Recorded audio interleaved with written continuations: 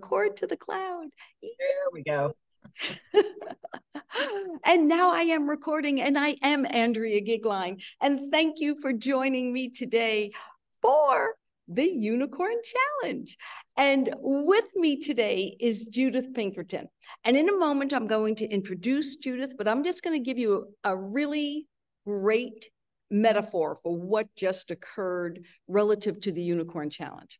So the Unicorn Challenge is 60 days, very easy, one minute videos, something for you to, an action for you to take to keep you on target. And here's the deal Judith and I have been chatting away for about 15 minutes. I thought that I had recorded what we were doing, and lo and behold, I had not. And so I said, oops, we have to start again. Well, that's what the Unicorn Challenge is really about starting again. So know that anything you want to achieve, you can every time you take the next step towards it.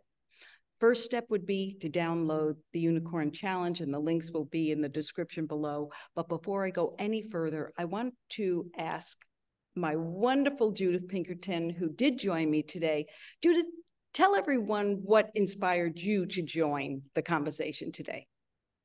I really appreciated that you were wanting to benefit a nonprofit. I'm all about giving. And so I was like, yeah, and and, and I get something out of it too. Woohoo. Yes. And yes. I adore you. So I was like, woohoo, I get to spend time with this is this is a beautiful benefit for the two of us who know each other because professionally and even at the very distant relative line we we are connected and what judith is mentioning is something that I mentioned when we started before, um, and thank you for remembering. So, so today's Zoom was being anyone who wanted to join just had to do a small donation to one of my favorite organizations, Teach for America in Las Vegas, and they're, they're national. Um, the reason I chose to do that is really what the Unicorn Challenge is about.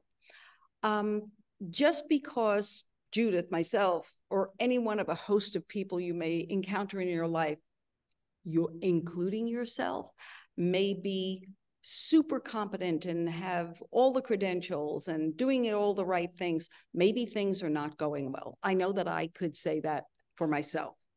The mm-hmm. amount of effort that I'm putting into the illusion of the result is not, it, it's not where I want it to be.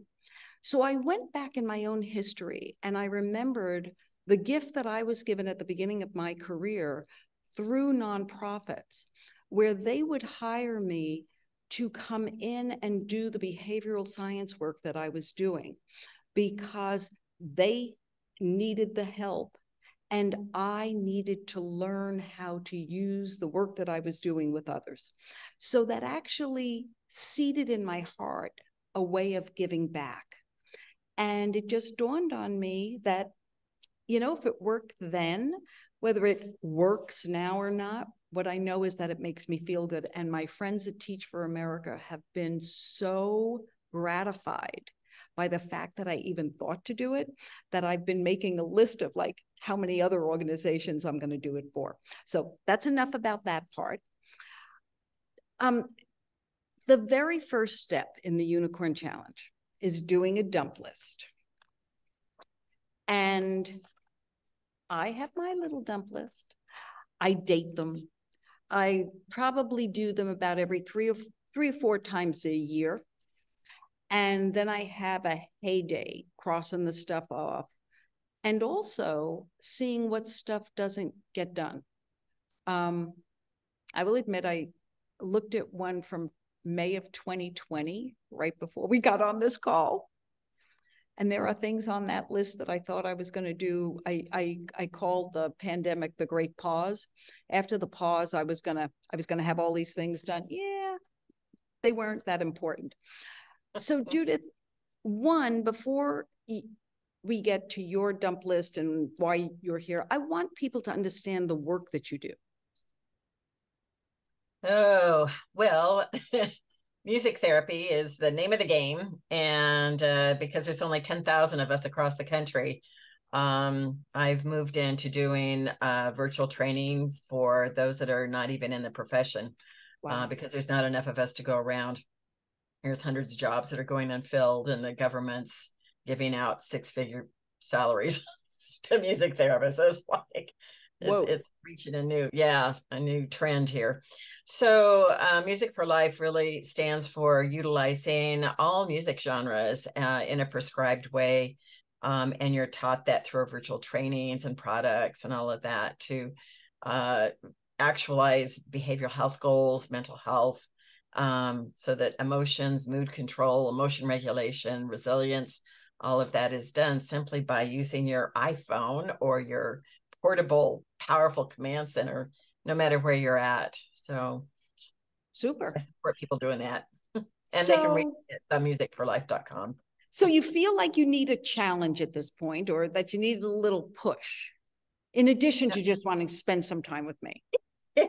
so yeah, so the push for me is um because I also am raising a, a four-year-old and caretaking amazing parents that it's it's easy to get distracted. Yes. Um, and so I am wanting to make sure that I'm on task at, with something every day. Um, not that I'm not, but it it just seems that I get to the end of the day and go, okay, so what did I accomplish? Mm.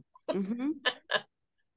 Well, you know, that's a great segue also to some of the the way I've broken down the tips. So like the first one is to do the dump list.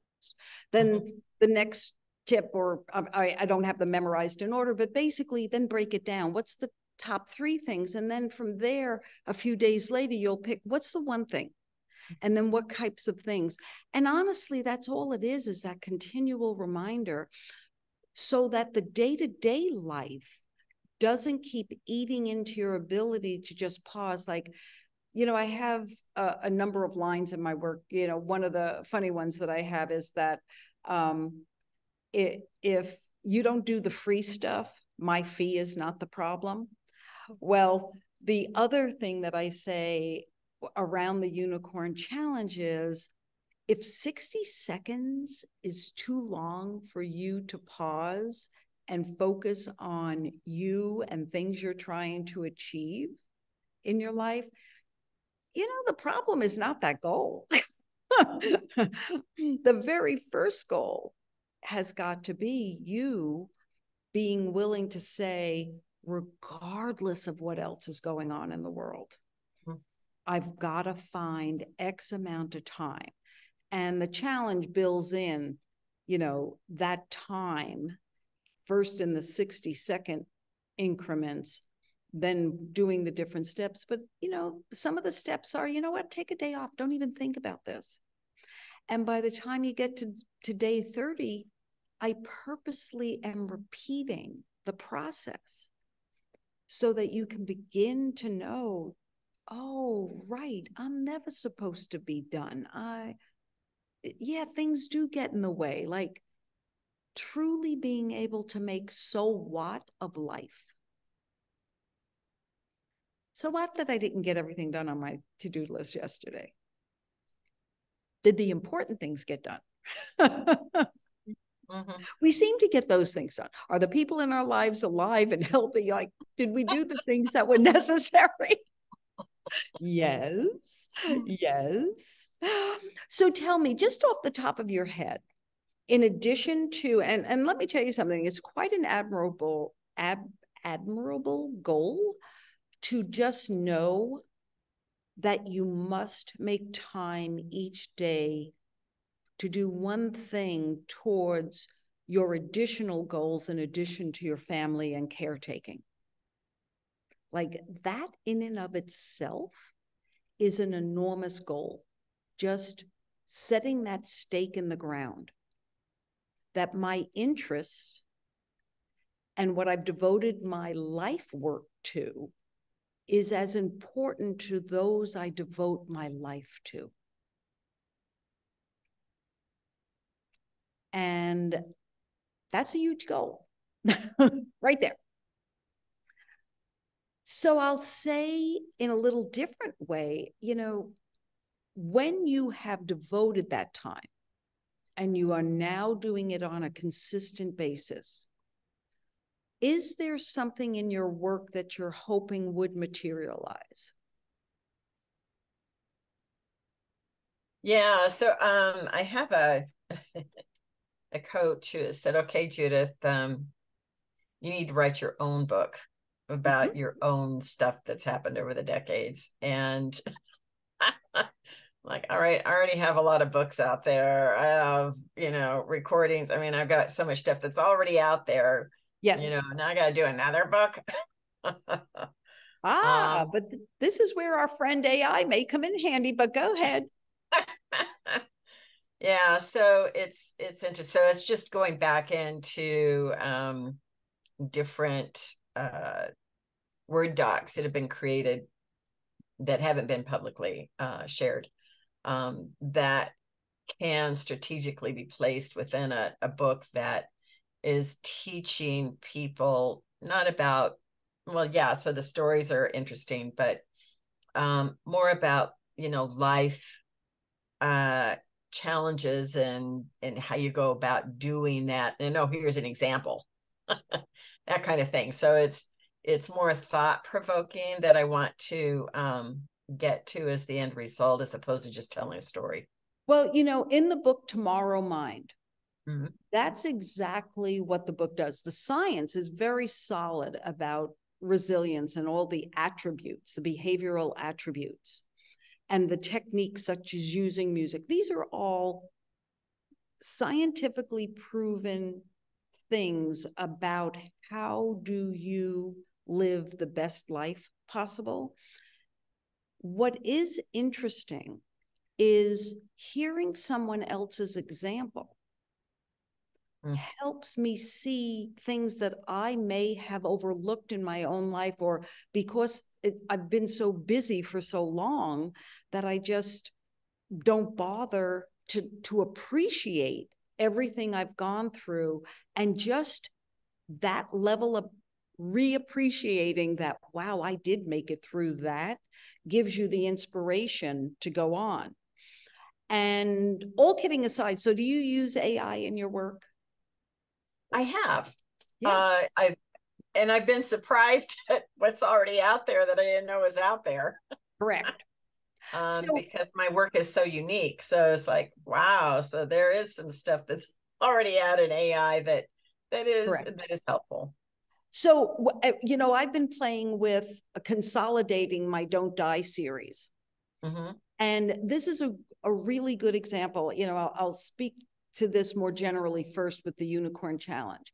So, all of us have lots of work that we've already done. I have the Don't Die book series, and they're three separate books, but they have four overarching themes that run through these books. And there are four core questions, um, like changing your perspective, and then your perspective changes. And then the question is, what perspectives do you need to change? And I tell stories and I do them in the small. So I I've been toying with how would I organize three books into one story? So I have that conversation with AI and it gives me an outline. Mm. And so that's, you know, use the resources. That's the overarching tip and how the unicorn challenge comes into when you take these one minute little breaks, you will be surprised how many resources you actually have at your disposal that you just didn't have the time to think about because you were busy taking care of the loved ones in your life while you're also trying to think about, you know, a book. Do I really want to do a book? And then there's always the question why? Like, why would I do a book now? What's the service? And for those of us who write books, um, and especially at this point in life, the last thing we need is to have people know about our lives. we already know it doesn't matter. We're really comfortable with that. Um, but what does matter is how can the experiences that I've gone through help others take the next step they need to take. And I could very much imagine with being, you know, grounded in a field that you helped bring to life, such as music therapy, that that really would have an impact on a lot of people as they're trying to discern how do I help in this world. So I think it is a very admirable, huge goal. you know, I remember when I was first doing my very first book a few decades ago, and, and I was like, oh, I have so much I want to say. And I had a coach at that point. She goes, You know, Judith, all you got to do is put one word on a page. People get away with doing one word on a page. And I'm like, yes. What? And Just one word? you know, you've mentioned the word coach twice, and I really want to thank you uh, for that because that's another thing that all of us having support having support when people have a specific expertise that you may not have getting that type of um, coordinated effort to push you even further. It's one thing to have something that you can download for free and watch free on YouTube. Then you may want the next step. And that's a very important step. Um, you know, it's really interesting. That's the part of my work that I have pretty much allowed to go dormant because I am so interested in disseminating the information through podcasts and things like this. And that, where I'm using the Unicorn Challenge for myself right now, is holding myself accountable for producing the content in the areas that I want to be known for going forward versus what I have done in the past. So, um, you know, I don't want to keep us too long on any of this. The Unicorn Challenge is free, it's step by step. You can comment both on YouTube or me directly. My email is right in it. Um, is there anything that you would like us to either talk about or think through while we're together?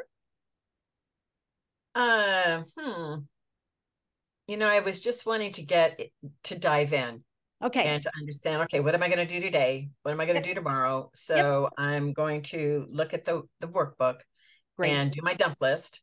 Okay. And look at the tip, the video, and uh, just um, keep on on task with that and see what comes up for me. I'm I'm pre- I'm a pretty much a self starter.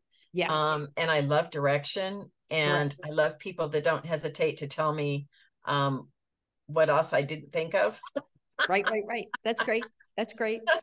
Well, and oh, so one thing about your dump list, um, I will tell you what comes in really handy for me. I actually have mine broken down, things that are business oriented, things that are travel oriented, and social stuff, like so that I'm giving everything equal space when I start. Mm-hmm. When I ask the question, what's important? What are the top three things?